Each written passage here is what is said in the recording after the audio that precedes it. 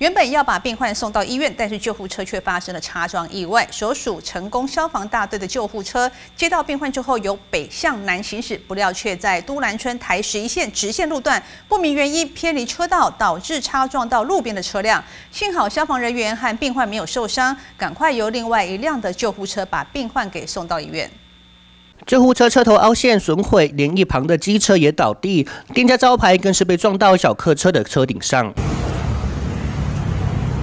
原本要将病患送至医院，但救护车却发生了擦撞意外。所属成功消防大队的救护车二十号中午从长滨乡出发，车内载送一名七旬的中风女性，并由北向南行驶，不料却在都兰村台十一线直线路段，因为不明原因偏离车道，导致擦撞路边停放的自小客车一部以及机车两部。本日十一时四十分许，成功消防大队救护车行驶于台十一线。